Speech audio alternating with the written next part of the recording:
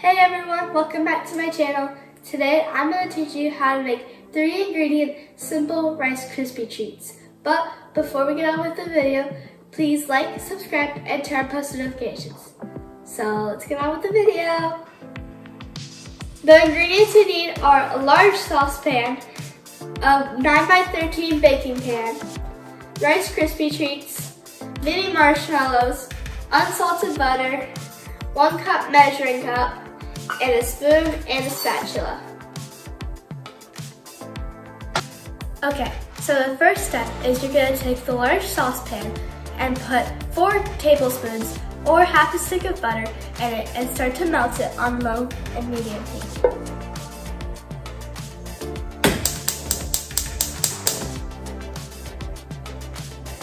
And this is what it should look like when it's finished melting.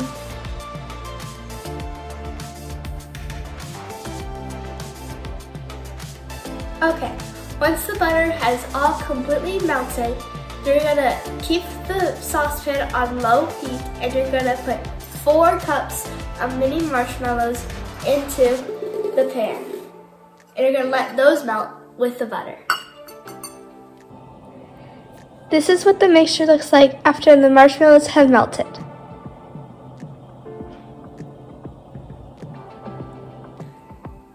Marshmallow mixture has melted, you're gonna take this large saucepan off of the heat and you're gonna put five cups of Rice Krispie treats into the mixture and mix it very well.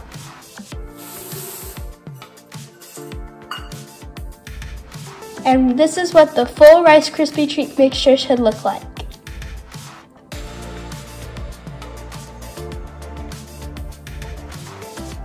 After you have fully mixed all the ingredients in, you're gonna scoop it into a buttered 13 by 9 inch pan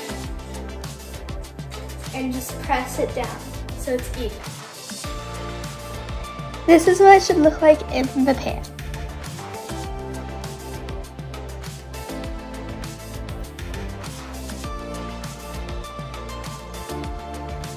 Now, you're going to stick it into the refrigerator until it hardens just a little bit so it's not too soft when you eat it. Then, you're going to cut the mixture into little pieces. This is what the finished product looks like. That's going to be it for today. Thank you so much for watching this video. Remember to like, subscribe, and turn on post notifications. And I'll see you guys in the next video.